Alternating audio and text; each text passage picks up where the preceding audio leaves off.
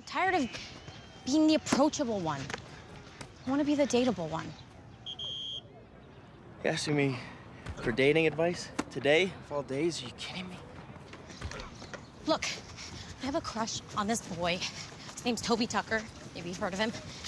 Well, I can't seem to talk to him without making a total ass of myself, okay? And you never seem to have this problem. Don't you hate me? I'm glad you asked. Yes, I do. But only because you're an idiot.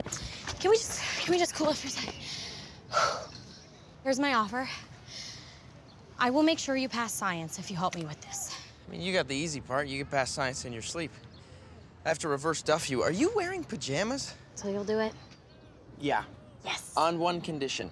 You gotta ask me in monster voice. Wesley, monster voice? Yeah. From when we were little? Mm-hmm. No. I don't I don't remember it. Sure? Yes, I don't I couldn't Okay. even Whoa, whoa, whoa, whoa!